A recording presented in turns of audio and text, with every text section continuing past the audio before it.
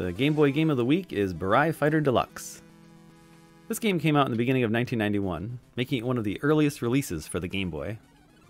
I didn't know anything about this game at the time, other than it had a really cool dragon on the box art. I only actually tried this game out for the first time recently, and oh my goodness, I love this game. This game gets so much right, and I'm really excited to talk about it.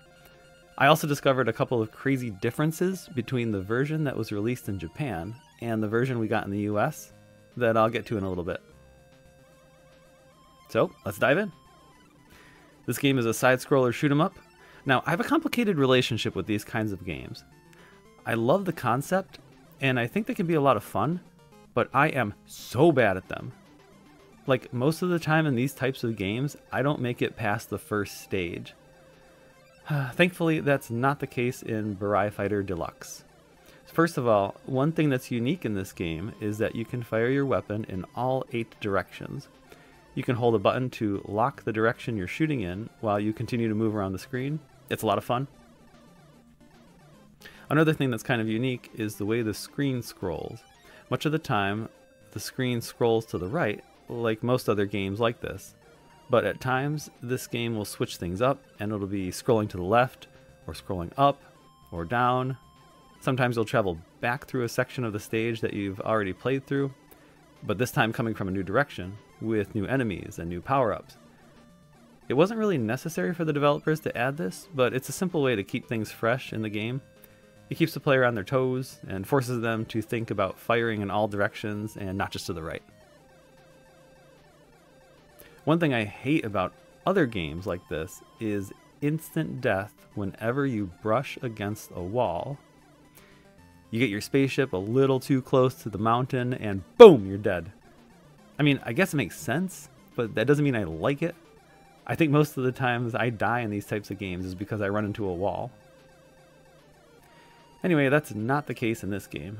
You can hug the walls, you can fly right alongside them with no penalty, it might be a small thing, but for someone who's as crappy at these games as I am, it makes a big difference. Another thing this game gets right is the enemy layout. Uh, it's not uncommon in these kinds of games to get a wave of enemies like from one side of the screen and then the same wave of enemies from the other side of the screen and then to have the exact same pattern of enemies repeat. Basically, in a poorly designed shoot 'em up, this just amounts to boring filler. I'm happy to say I did not experience any of this in this game. Instead, this game keeps me on my toes. Enemies come from the right, and then the left. Now a new type of enemy appears. Now there's environmental hazards and enemies. Now the screen is scrolling in a new direction. It's really well done and never starts to feel old. The way weapon power-ups work in this game is quite clever, but a little confusing at first. So you always fire your starting gun, but there are also three other weapons you can collect that allow you to shoot in multiple directions at once, or even through walls. You'll start shooting the new weapon as soon as you collect the corresponding power-up, but then when you collect another power-up, it looks like nothing happens. So the way power-ups work is each weapon can be upgraded up to 10 times, but you won't actually see any change in the weapon you're firing until you've collected 5 of the same power up. And then it upgrades again when you've collected 10. Uh, the game gives the player a lot of opportunities to collect power ups, but not too many. I'd say it's quite balanced. You can change between the different weapons by just collecting one of the power ups that corresponds to the weapon you want to use. Uh, some power ups are better for a specific part of a level, and some bosses are weak to a specific weapon, so it can be beneficial to switch. Uh, but here's the thing when you die, you lose all of the power-ups you've gained for your currently active weapon. So it can be tempting to just stick to your favorite weapon 100% of the time, but if you know you'll need it coming up, it may help to switch to another weapon for the time being in case you do die. I love this power-up mechanic. Uh, something other shoot 'em ups struggle with is what to do with power-ups and less skilled players. Uh, better players will collect more power-ups, they'll become overpowered, and just plow through the levels. But a less skilled player, one who misses power-ups and dies a ton, will constantly be reset to having to play with no power-ups, and that's no fun. Uh, this game finds a great middle ground where you only lose the power up you are actively using. It's a consequence of dying, but isn't sending the player back to ground zero with every death. Uh, the developers came up with a great solution here. The game has five stages, and in my opinion, they are laid out masterfully. Uh, they're not short, but they don't overstay their welcome. Each stage kind of follows a pattern where it goes from straight action to changing up the direction of the level, uh, then going back again, and just when the level is about to feel a little too long, uh, there's what I call a bridge section. That means you're coming up to the boss. Uh, it's really nice. The game does not have a battery backup. Instead, uh, this game gives you a simple password when you beat a stage. Uh, the only thing the passwords record is the stage you're on and the difficulty level, which works out fine.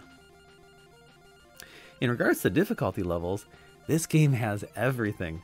Uh, when you start up the game, you can choose between easy, medium, and hard difficulty levels, with more enemies, uh, new enemies, and tougher enemies the harder you, you pick. Uh, if hard mode is too easy for you, don't worry. There's an extra super duper hard mode waiting for you after you beat the game. And if easy mode isn't easy enough for you, there's a simple password you can enter that gives you 99 lives when you start the game. I am a huge fan of letting the player play the way they want to play.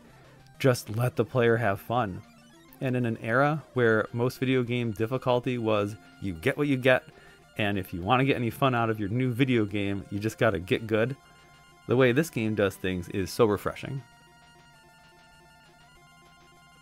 Uh, this game also does things right when it comes to extra lives and continues. So every level has a ton of checkpoints. So when you die, it actually doesn't send you back to that, that far, which is great. Uh, it's challenging, but the game doesn't waste the player's time by making them replay a large section of the game that they already did.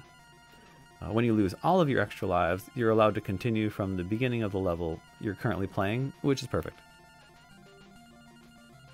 Hmm. There's a cool gameplay mechanic for extra lives too. Uh, many times when you kill an enemy, they'll leave behind these little coin things, uh, and if you collect enough of them, you get an extra life. But you can also choose to use them to fire off a bomb that clears uh, the screen of all enemies. So it's kind of a fun trade-off mechanic. Uh, do I clear the screen of enemies, or do I save up for an extra life? It's kind of cool. Alright, on to the graphics. The graphics in this game are both a blessing and a curse. Uh, the designers did the thing where all the foreground elements, you know, the player, the enemies, the bullets, the walls, uh, they're all shades of dark gray and black, and the backgrounds are almost pure white. Uh, the benefit of this is that it makes it super clear where the enemies are, and for a fast paced action game, this is super important. The drawback is well, even though the character sprites look good and are well drawn, they're all super dark and look kind of muddy and ugly. Yeah, even so, I commend the designers for the backgrounds. They didn't just leave them plain white, but, but instead used a light gray to add some patterns. Uh, this looks so much nicer than leaving it plain white, and it makes it easier to see which direction the stage is currently scrolling into. oh my gosh, I can't stand it when games uh, leave the background plain white. Uh, games like Star Wars Super Return of the Jedi, or Turrican, or Earthworm Jim, and even the Donkey Kong Land games to some extent. I know it takes extra memory to add more tiles to the background, and I know it can make the game look more cluttered, but man, leaving it blank just makes the world look so empty and dead. Uh, games that avoid this look are games like the Kirby's Dream Land series, uh, Super Mario Land 2, uh, all the Ninja Turtles games. Oh well. Uh, all things considered, uh, the way that the developers were able to pack this much game that looks this good in a minuscule 64K ROM uh, makes Burai Fighter Deluxe all the more impressive. as for the music, uh, well, the music in this game is excellent. Like, the stage one theme gets stuck in my head every time I play this game, and I don't even care because it's so good. Unfortunately, we've come to what is probably the biggest complaint I've seen about this game. Uh, the sound effects are very poorly mixed. Like, stage 1 should sound like this.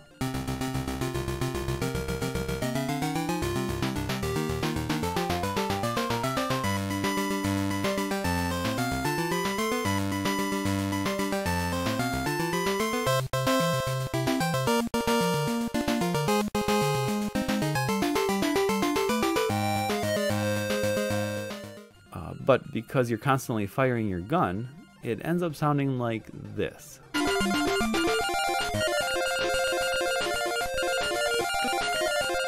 So I tried comparing it to Gradius, another shoot 'em up for the Game Boy that's known for having excellent sound, and I couldn't quite put my finger on what they did differently. Uh, the weapon sound effects in Burai Fighter Deluxe are definitely too loud, so first thing I do is I lower the volume on those. Other than that, uh, the game plays the sound effects on channel 2, which is where the bass line is playing, so the bass line cuts out whenever you fire your weapon. I think this is pretty common for games of this era, but I can't quite figure out why it doesn't work here. Maybe they're trying too hard, and like a much more simple pew pew sound effect would have served the game better than the more complicated laser type sound effect they went for. oh well, all I know is if your game is going to have a sound effect that the player is going to have to hear constantly, then it better sound good or the player is not going to have a good time. Also, there is a strange glitch in this game that makes it only playable on the original Game Boy and the Game Boy Pocket. Uh, what happens is the player will just kind of randomly die, usually around the stage 2 boss. like, you're playing the game and suddenly, boom, you just kind of explode. There's nothing on the screen. Uh, I assume this is one of the reasons they released a color version of the game uh, called Space Marauder that works on the Game Boy Color and the Game Boy Advance. Alright, so when I decided I wanted to own a copy of this game, I did some research to see what the differences were between the American and the Japanese release, and I really didn't find any info online. I mean, one website pointed out that the American version has a two player versus game, which I haven't tried out, uh, but since I wasn't planning on playing against someone on another Game Boy anytime soon, I decided to check out the Japanese version. The first thing I discovered was in the Japanese version, the player character moves faster. I actually made a video demonstrating the speed differences. I'll put a link to it in the description. Uh, I don't know for sure why the American version was slowed down, but my best guess is uh, the Japanese version came out first, and when it came time to release the game in America, they decided to slow down the player character just a little bit. Uh, one, to make the game a little easier, and two, to combat some of the motion blur that happens on the original Game Boy screen. Hmm, I don't know. Anyway, I wanted the true speed of the fast paced original, so I opted for the Japanese version of the game. the other difference I discovered, and this is huge, um, is that the final boss in the Japanese version is completely different than the American version. And not just the American version, uh, there are five versions of this game. Uh, so, what is it? There's the American and the Japanese versions of the Game Boy game that we've already talked about. Uh, there's the American NES version, there's the Japanese Famicom version, and finally there's the Game Boy Color version. And every one of them has the same final boss, except the Japanese Game Boy version. The final boss in all the other versions is this super cool dragon, which coincidentally is the same dragon that's featured on the box art of the game. But the final boss in the Japanese version is this. The first time I got to the final boss, I thought to myself, huh, maybe they put the dragon after this boss? But nope, this is it. Now, what's really been boggling my mind is why is the final boss in this one version of the game different from all of the other versions? And unfortunately, I have no idea. Uh, the Japanese Game Boy game came out after the original NES release, so Maybe they wanted to add the dragon but couldn't get it to work on the Game Boy in time for the release date? Uh, but even that doesn't really make sense to me, because it's not like the boss they replaced it with seems that simple to implement or anything. it's a pretty complicated battle. Maybe they wanted something unique for the Game Boy version, but then decided the dragon would be cooler for the American audiences? Yeah, I don't know. It's a mystery to me. Anyway, when I discovered all this, I was super bummed. This final boss looks so lame compared to the dragon, but honestly, I kind of prefer the final boss in the Japanese version. It doesn't look nearly as cool, but the battle is a lot more interesting and also a lot more satisfying when I beat him. And if you're wondering, well, why would they put a picture of the dragon on the box art if there's no dragon in the game? Well, that's because the Japanese box art doesn't actually have the dragon on it. It just has the spaceman slash mech player character. It's hard to do an action game on the Game Boy. The screen is small, uh, the hardware doesn't allow for many sprites on the screen at once, and motion blur can make things even harder to see. But in my opinion, this is one of the best action games for the Game Boy. Uh, there's tons of enemies, tons of bullets, fast movement, but never so fast that I don't feel like I'm in control. If I had to make one change to the gameplay, I think I'd prefer it if the player had a life meter instead of one hit deaths, and maybe have the level design make up for it with a few extra enemies. Uh, this would allow for the action to continue uninterrupted even when the player makes a mistake or two. Uh, but really, the way the game is now, it really is a fun, solid action game. So, in conclusion, this game has good graphics that serve the gameplay perfectly.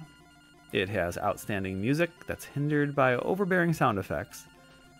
The scaling difficult is implemented wonderfully, and it has enough unique gameplay to really make it stand out compared to other games of this type. But ultimately, I can sum up my opinion of this game in one sentence, and that is every time I pick this game up, I can't put it down.